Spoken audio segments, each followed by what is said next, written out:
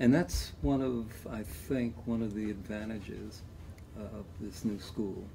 It's going to create very interesting partnerships um, that will have, I think, a profound impact on how we study uh, film and media uh, at IU and our location in relationship to the East and West Coast, where the principal film schools um, reside in the East Coast, New York, what is it, Columbia, and uh, NYU. NYU, and on the West Coast, USC and UCLA.